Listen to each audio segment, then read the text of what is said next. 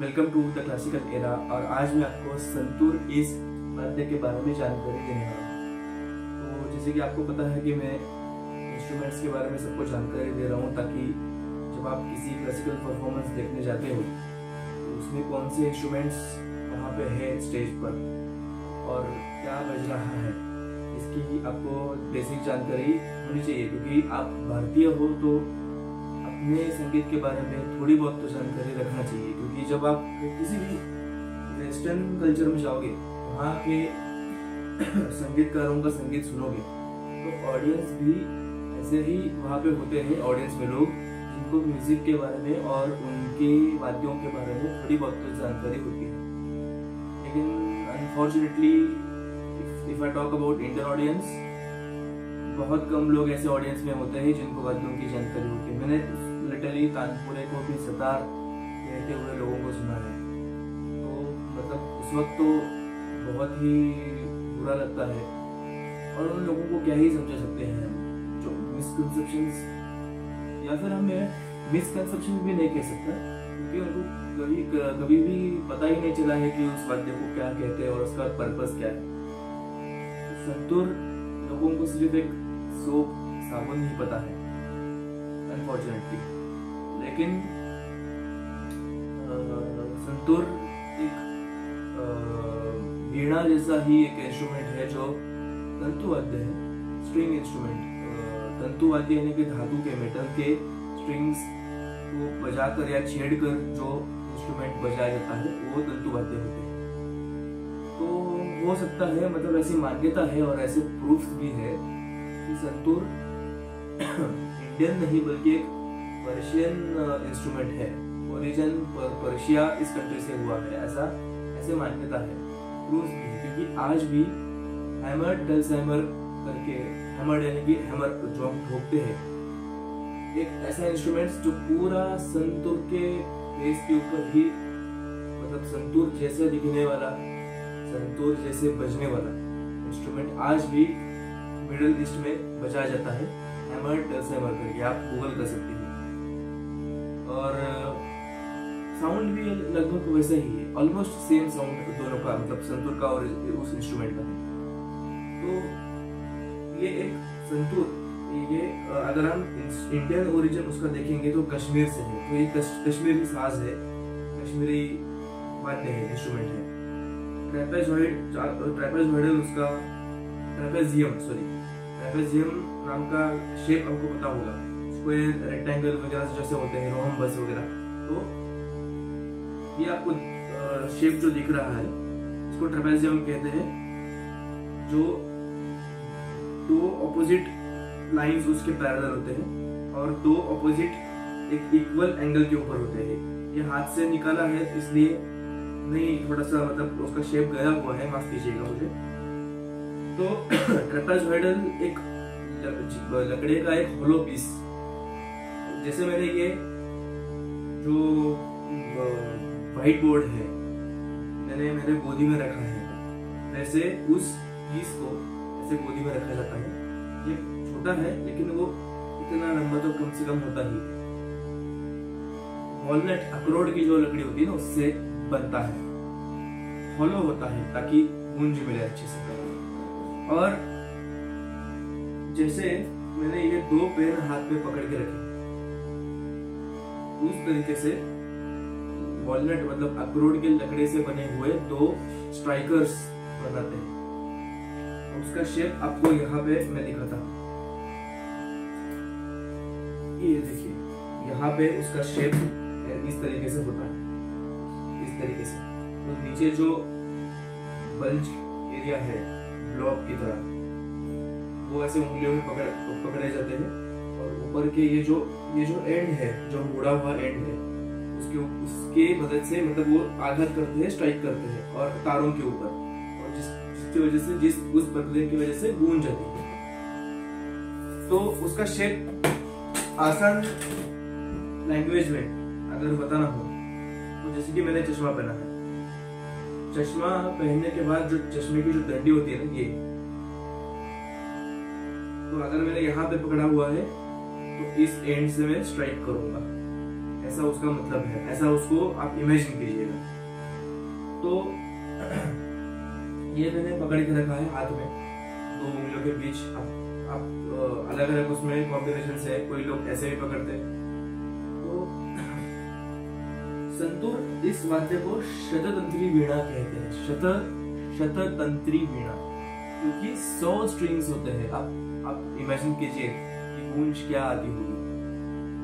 ये जो ब्रिजेस आपको दिख रहे हैं, ये जो ग्रीन ग्रीन आपको है, दिख रहा है, ये ब्रिजेस है।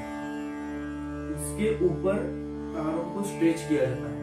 मतलब अगर ये दो ब्रिज है, और ये प्लेटफॉर्म है नीचे का तो इसके ऊपर मैंने ब्रिज लगा दिए। और तार जो है, वो ऐसे यहाँ पे आएगी, यहाँ पे इस हाथ के ऊपर तक आएगी, और यहाँ से नीचे तक जाएगी। तो ये स्ट्रेच होता है। स्ट्रेच स्ट्रिंग के ऊपर अगर मैं आघात करूँगा आम करके गूंज आ जाएगी।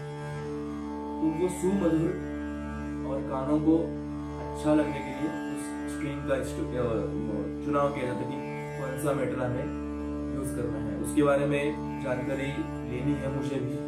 क्योंकि ऐसा कहीं पे भी मेंशन नहीं किया है कि स्ट्रिंग कौन से मतलब मेटल का यूज़ किया जाएगा। तो ये ग्रीन कलर के जो है थोड़ा सा मैं ऐसे करूँगा भी बड़ा वाला जो एंड होता है, वो अपनी तरफ़ होता है, छोटा वाला आगे की तरफ़। क्योंकि जो बड़े वाले होते हैं अगर मेरा ये सा है षट तो पीछे नी, ध, प मंत्र सप्तक के आएँगे। और उसके आगे सारे गम, पद जो आपके मध्य और उसके बाद में तार सप्तक तो जैसे जैसे हायर नोट्स आएँगे वैसे वैसे ये एरिया छोटा होता जाएगा। जैसे जैसे बेस नोट्स लोअर नोट्स आएँगे, वैसे वैसे पीछे की तरफ़ मोटा होता जाएगा, बड़ा होता जाएगा। माफ़ कीजिए। तो ये जो ग्रीन ग्रीन है ब्रिज है। मतलब छोटे छोटे इतने इतने साइज़ के ऐसे ब्रिजेस उसके ऊपर से स्ट्रिंग को स्ट्रेच करके लगाया अब जब मैं स्ट्राइक करूँगा, एक एक स्ट्रिंग के ऊपर, टंग टंग टंग तो इसमें से स्वर निर्मित होगी। अभी यहाँ पे जो ब्रिजेस है आमतौर पे 25 25 ब्रिजेस है यहाँ पे आपको 25 दे दिखेंगे टू बी वेरी ऑनेस्ट क्योंकि अगर आप वीडियो पॉज करोगे और स्क्रीनशॉट लोगे या फिर जूम करोगे तो आपको ये सत्रह दिखेंगे। अब आप समझ सकते हो कि अगर छोटे से बोर्ड के ऊपर अगर मैं डायग्राम बना रहा हूँ तो मतलब वो पच्चीस बनाना मुश्किल हो जाएगा। क्योंकि फिर यहाँ से शुरू करना पड़ेगा मुझे इसके भी आगे जाएगा। और थोड़ा कैमरा दूर भी है। आपको भी क्लियरली दिखना चाहिए। इसकी अगर स्पेसिंग्स मैंने कम कर दिए तो आपको समझ में नहीं आएगा। तो आप मान लीजिए कि ये पच्चीस है। और एक ब्रिज के ऊपर चार तारों का एक सेट ऐसे स्ट्रेच करके लगाए तो twenty five into four hundred हो गए सौ तार हो गई शततंत्री वीणा बन गई लेकिन एक टिपिकल इंडियन साज के बारे में बात करेंगे तो 90 स्ट्रिंग्स होते हैं। अभी ये जो नंबर होते हैं स्ट्रिंग्स के, कम ज़्यादा करने कितनी चाहिए? रिजोनेंस कितना चाहिए? इसके ऊपर डिपेंड करता है। अगर ये स्ट्रिंग है आघात करने के बाद ऐसे ऐसे ऐसे ऐसे इसको हम मराठी या फिर संस्कृत में आंदोलन भी कहते हैं। ये जो अभी ये, ये स्टेडी लेवल है ऊपर नीचे ऊपर नीचे साइन वेव अगर आपने कभी देख, देखी होगी उस मोमेंट में ये वाइब्रेट होता है। उस कंपन की वजह से वो जो कंपन होता है वो हवा के ज़रिए लोगों तक पहुँचता है कानों तक पहुँचता है कानों के पर्दों तक पहुँचता है। तो अभी चार तारों का एक सेट एक ब्रिज के ऊपर 25 ब्रिज पर शततंत्री मेड़ा बन गई। लेकिन टिपिकल एक सास 90 स्ट्रिंग्स का होता है। अभी इसमें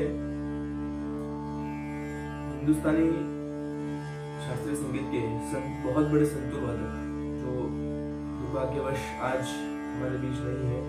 पंडित शिव कुमार शर्मा जी उन्होंने बहुत बड़ा बदलाव लाया है इस वादन प्रक्रिया के ऊपर। शास्त्रोक्त सिंदूर वादन का जनक उनको माना जाता है।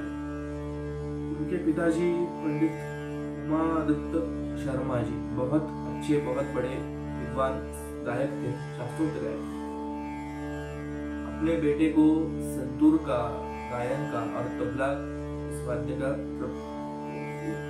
से ये सब रियाज उन्होंने करवाया। शिव कुमार जी बहुत अच्छे गायक भी थे मतलब बहुत अच्छा गाते थे। तबला उन्होंने सीखा था अच्छा ठेक ठेका वो पकड़ सकते थे सात समय के लिए। लेकिन संतूर इस वाद्य को उन्होंने चुना कि इस वाद्य में एक ऐसी शक्ति है, एक ऐसी प्रतिभा है जो आज तक लोगों में तक नहीं आई है।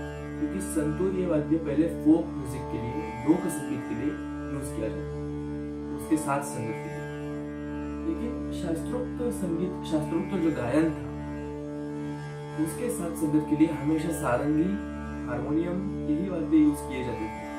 उसके पीछे का एक रीजन ऐसा था कि शास्त्रोक्त गायन में या फिर शास्त्रीय कोई भी तंतु वाद्य और गायन में स्वरों सॉरी स्वरों के ऊपर ठहरना होता, रुकना होता जब हम कभी कट नोट्स नहीं जैसे कि अभी मुझे तालपुरे की ज़रूरत पड़ेगी जो आपको सुनाई दे रहा है वीडियो में, वो तो है, लेकिन मुझे वो सुनाई कभी देता नहीं क्योंकि मैं एक्सटर्नली उसको ऐड करता तो थोड़ा सा ऑफ़ हो सकता है माफ़ कीजिएगा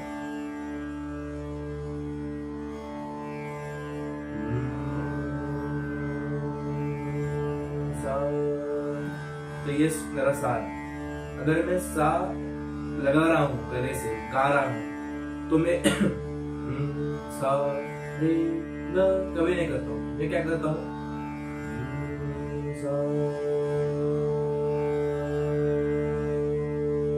मुझे रुकना है साथ तो ये अगर मैं संतूर में करूँगा तो टंग, बस इतना ही हो जाएगा।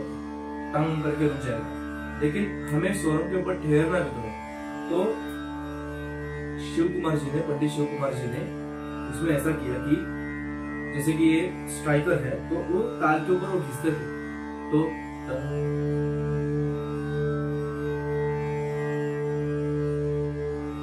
जितना आपको चाहिए, जितना आपको उसको स्ट्रेच करना है, आप कर सकते एक्चुअली उनके इंटरव्यू और उनके डेमोन्स्ट्रेशन के वीडियोस की लिंक मैं डिस्क्रिप्शन में डाल दूँगा। क्योंकि इतने बड़े कलाकारों की बात इतने बड़े कलाकार की बात मैं, मुझे मतलब ये सब चीज़ें बताने में मैं ऑथोराइज नहीं हूँ एक्चुअली क्योंकि ये उनका विषय है और मैं उसमें हस्तक्षेप नहीं कर सकता, लेकिन उन्होंने जो डेमोन्स्ट्रेशन दिया था, बताया था, मैं आपसे शेयर करना चाहता हूँ आपके नॉलेज के लिए। ठीक है? तो ये उसका शेप होता है। और उन्होंने सबसे बड़ा चेंज इसमें ऐसा लगा कि चार के जगह पे तीन स्ट्रिंग्स को उन्होंने यूज़ करना शुरू कर तो कभी कभी दो भी यूज़ करते थे कभी कभी तीन यूज़ करते थे। पीछे नीचे वाले जो होते हैं, उसमें दो यूज़ किए उन्होंने मिडल में तीन यूज़ किए। क्योंकि कम कर रही चार चार अगर आप लगा, लगाओगे तो अगर मैं रैंडमली नोट्स बजा रहा हूँ अगर ये कुछ मैं ऐसे कर रहा हूँ तो एक के पीछे एक बज रहे हैं नोट्स वो जो पलटा या फिर टान होगी उसमें रेजोनेंस बहुत ज़्यादा आ जाएगा। गूंज बहुत ज़्यादा आ जाएगी और माइक उतना कैप्चर नहीं कर पाता उस वक्त अभी भी नहीं करता शायद। तो उसने इस, इसी वजह से उन्होंने तीन स्ट्रिंग्स यूज़ करना शुरू कर दिए चार के तो रिजोनेंस कम हो जाएगा आंदोलन कम हो जाएगा गूंज कम हो जाएगी। और उतनी ही गूंज आपको लगेगी जितना कि आप एक शास्त्रोक्त वादन के लिए आपको चाहिए। तो इसमें जोड़ झाला भी होता है, अगर आप पूरा परफॉर्मेंस कोई भी संतुल वादन का कोई भी कलाकार का आप देखेंगे तो उसमें जोड़ झाला होता है। अब वो क्या होता है, वो मैं मुँह से नहीं बता सकता, क्योंकि वो रिदमिक पैटर्न है और आपको सुनना ही पड़ेगा। तो मैं उनके वीडियोस की लिंक डिस्क्रिप्शन में डाल दूँगा, आप प्लीज़ उसको सुनिएगा। और बहुत ही अनोखा इंस्ट्रूमेंट है तो क्योंकि इसमें हाथ से प्लग नहीं करते। हमारे यहाँ पे वीणा वीणा के सारे प्रकार, सरोद और सतार, और उसके बाद रावण हट्टा भी मतलब बहुत से बहुत से ऐसे इंस्ट्रूमेंट है स्ट्रिंग इंस्ट्रूमेंट जिनके बारे में हमें पता भी नहीं होगा, बहुत प्राचीन, पुरातन इंस्ट्रूमेंट्स ये सभी हाथों की उंगलियों से मतलब प्लग किए जाते हैं। और तारों को खींच खींच कर उनका, उनके नोट्स कम ज़्यादा किए जाते हैं। लेकिन ये एक इंस्ट्रूमेंट ऐसा है, जिसके लिए हर एक नोट के लिए एक एक तार का सेट है और उसको हमें आघात करना है। तो ये थोड़ा सा मुझे एक्चुअली बहुत पुराना डिज़ाइन लगता है। ये जो डिज़ाइन है, ये जो टेक्निक है, क्योंकि अभी मैं क्या कर सकता हूँ, तार को खींच कर उसके स्वर बदल सकता हूँ, जो कि और ज़्यादा इजी फैसिलिटी बन चुकी है। लेकिन इसमें क्या है कि आपको घिसना पड़ेगा उस स्वर को, अगर आपको हिंड देनी है। आपको एक एक एक स्वर को ऐसे आघात करना पड़ेगा। जो कि बहुत मुश्किल भी है हाथों में और इस ये जो जॉइंट है, इस वेस्ट रिस्ट के जॉइंट में कलाई की जॉइंट में फ्लेक्सिबिलिटी चाहिए तो उसके लिए रियाज बहुत करना पड़ेगा। तो ये थोड़ा सा मुश्किल वाला डिज़ाइन लगता है और इसी की वजह से मुझे लगता है कि ये थोड़ा पुराना होगा अभी मिडल ईस्ट में कहा माना जाता है कि 900 एडी मतलब जीसस क्राइस्ट के जन्म होने के बाद 900 साल के बाद इस इंस्ट्रूमेंट का प्रचार हुआ। अब ये इंडियन ओरिजिन होगा कश्मीरी ओरिजिन होगा। तो इससे पहले की बात हुई है गारंटेड क्योंकि इसका डिज़ाइन ही इतना मुझे पुराना मतलब टेक्निक बजाने का टेक्निक पुरानी है। अगर मैं आज के जमाने में कोई भी स्ट्रिंग इंस्ट्रूमेंट बनाने की कोशिश करूँगा कि मैं अपना इंटेंशन कि मेरी ये इंस्ट्रूमेंट मुझे बनाना है तो मैं ऐसे बनाऊँगा कम से कम तारों में पूरा मेरा शास्त्रीय संगीत का बैकग्राउंड कवर कर पाऊँ क्योंकि ये ह्यूमन टेंडेंसी है। हम हमेशा काम को आसान करने की कोशिश में लगे रहते हैं, हमारा दिमाग। लेकिन ये सबसे मुश्किल काम हो गया कि इसमें हर एक स्वर के लिए एक एक तार है। उसको आघात करके बजाना पड़ेगा विंड लानी हो तो घिसना पड़ेगा। तो ये थोड़ा पुराना डिज़ाइन है, इसलिए मुझे लगता है कि ये पुरातन वाद्य होगा। अब इंडियन ओरिजिन है या पर्शियन ओरिजिन है, इसके ऊपर वाद विवाद करने से अच्छा है कि दोनों एक्सेप्ट कर लीजिए। अब मैं कोई इंडियन बोलो तो हाँ कह दीजिए, कोई पर्शियन बोलो तो हाँ कह दीजिए। इसके ऊपर रिसर्च करने की ज़रूरत है, बिल्कुल। वाद्यों का ओरिजिन मैं थोड़ा साइड करता हूँ। वाद्यों का जो ओरिजिन होता है, उसको स्टडी करना बहुत मुश्किल है। डबल हेडेड ड्रम्स सभी जगह पे पाए गए। लेकिन हमारे यहाँ पे पखावज है, मृदंगम है कर्नाटक संगीत में नॉर्थ में हिंदुस्तानी में पखावज है। उसको मराठी में पखवाज भी कहते हैं लेकिन डबल हेडेड ड्रम्स अन्य जगहों पर भी पाए गए हमारे यहाँ पे तबला है तो अन्य जगह पे भी मतलब तबला भी पर्शियन इंस्ट्रूमेंट हो सकता है, ऐसे भी स्टडीज़ इंडियन कलाकारों ने इंडियन रिसर्चर्स ने किए। और तबला आधुनिक माना जाता है। जब अमीर खुसरो जी आए थे, उन्होंने पखावज के दो टुकड़े बना के तबला बनाया, ऐसा मान, ऐसी मान्यता। है और उसके बाद में दिल्ली घराना प्रसिद्ध हुआ। लेकिन डॉक्टर अबान मिश्री जी, जो एक बहुत बड़े बहुत बड़े लेडीज़ तबला वादक भी थे, और रिसर्च किया है उन्होंने। बहुत अपना एक थेसिस उन्होंने क्रिएट किया है बनाया है। उसमें उन्होंने बताया है कि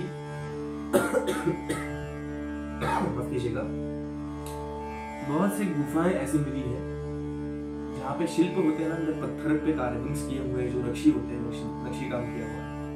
तो उसमें लोग तबले जैसा दिखने वाला इंस्ट्रूमेंट बजाते हैं ऐसे भी पाया है। मतलब दिखा है उस फ़ोटोज़ में उनके उनके पास उसकी फ़ोटोज़ भी है तो हम कैसे कह सकते हैं कि अमीर खुसरो जी जब आए थे इंडिया में, भारत, तभी तबला का प्रचार हुआ। ऐसे कहना गलत नहीं होगा। वो एक मान्यता है, ऐसे हज़ार मान्यता है। और उनके आधार पर ही रिसर्च किया जाता है। तो हमारे हाथ में क्या है कि जो कोई ओपिनियन देता है अपनी राय बताता है, उसको एक्सेप्ट कर दीजिए। क्योंकि आपके पास भी कोई ठोस पुरावा नहीं है उस चीज़ का। ये इंडियन है ये वेस्टर्न है पर्शियन है वगैरह संगीत एक ऐसी चीज़ है जो पूरी दुनिया को जोड़ता है। हर एक इंसान में दूसरे इंसान के लिए जो मतलब हेट होता है, उसको निकालने के लिए संगीत है। हम अगर इस चीज़ को लेकर लड़ते बैठेंगे कि इंस्ट्रूमेंट किसका है इंस्ट्रूमेंट भगवान का होता है। मतलब कोई भी हो गिटार भी और सतार भी, कोई भी, सारंगी भी और वायलिन भी, दोनों उसके हैं। हम तो बस सेवा करते हैं। ये एक डाउन टू अर्थ देने की जो बात है ना कि नहीं, मुझे जो लगता है वही सही है। गलत बात आप सामने वाले को भी तो एक्सेप्ट कर लीजिए। तो संतूर के बारे में आज इतना ही। उनके पर संतूर वादकों की मतलब मैं सिर्फ़ पंडित शिव कुमार शर्मा जी के नहीं, उनके बेटे राहुल शर्मा जी। तो उनका भी आप सुनिएगा। बहुत बड़े बड़े कलाकारों के नाम है। मतलब मैं तो कितना कितने सारे नाम सबके आप सुन सकते हो। यंग जनरेशन भी तैयार हो रही है संतूर में। थोड़ा सा दुर्लभ इंस्ट्रूमेंट बन सकता है क्योंकि सिखाने वाले भी उस टेक्निक के चाहिए। वैसे देखा जाए तो शास्त्रोक्त संतूर वादन की जनक पंडित शिव कुमार शर्मा जी थे, उनके बाद में अभी नेक्स्ट जनरेशन आ गई। दो ही जनरेशन हुए हैं शास्त्रोक्त वादन के लिए। फोक म्यूज़िक तो ने पहले ही था संतूर। लेकिन शास्त्रोक्त वादन पद्धत जो उन्होंने एक प्रोसीजर बना दिया उस चीज़ को, बजाने के ढंग को, बजाने के तरीके को। उसको कैरी फॉरवर्ड करना मुश्किल नहीं है बट थोड़ा सा चैलेंजिंग हो सकता है, क्योंकि रिसोर्सेस अवेलेबल नहीं होंगे तो मैं सबको यही शुभकामनाएँ देता हूँ कि अगर कोई संतूर सिखा रहा है विद्यार्थियों को, आप बहुत बड़ा काम कर रहे हो, बहुत बड़ा काम कर रहे हो। और ये इंस्ट्रूमेंट बहुत सुंदर है और ऐसे ही उसका प्रचार बढ़ता रहे, ऐसे में ईश्वर से प्रार्थना करूँगा तो आगे आने वाले वीडियो में सारंग के बारे में बताया मैंने आपको संतूर के बारे में बताया, और पूरा तो बेस उसके बारे में बताया मैंने आपको। तो आप, या फिर आप मुझे बताइए कि कौन से इंस्ट्रूमेंट के बारे में आप जानना चाहते हैं। जैसे वायोलिन कर्नाटक संगीत में बजाया जाता है, लेकिन वायोलिन अपना इंस्ट्रूमेंट ना होने के चांसेस है? क्योंकि हमारे पास उसी ढंग का बजने वाला सारंगी है। तो वायोलिन के ऊपर भी एक वीडियो बना दूँगा मैं, क्योंकि अब जब कर्नाटक संगीत में और हिंदुस्तानी संगीत में उसका प्रभाव है तो हमें उसको एक्सप्लेन करना चाहिए। और भी स्ट्रिंग इंस्ट्रूमेंट्स सतार के बारे में मैं बताऊँगा आपको, सरोद के बारे में बताऊँगा, वीणा के बारे में बताऊँगा, और उसके बाद आऊँगा चर्म मतलब स्किन इंस्ट्रूमेंट्स तबला है, पकावाज मृदंगम है डबरू है, बहुत बहुत सारे इंस्ट्रूमेंट सुशीर वाद्य यानी कि हवा पे बजने वाले वाद्य जैसे कि बांसुरी है, सारंगी बांसुरी शहनाई माफ़ शहनाई, हारमोनियम है जो हवा को अंदर लेता है और पोल से बाहर निकल के जो स्वर निर्मित होती है, वो भी एक सुशील वाद्य का ही एक मतलब उसका जो कैटेगरी आता है, वो सुशील वाद्य में आएगा। तो इन सब इंस्ट्रूमेंट्स के बारे में विस्तृत जानकारी मैं दूँगा। तब तक के लिए आप शास्त्रीय संगीत को सुनते रहिए और लोगों को सुनाते रहिए।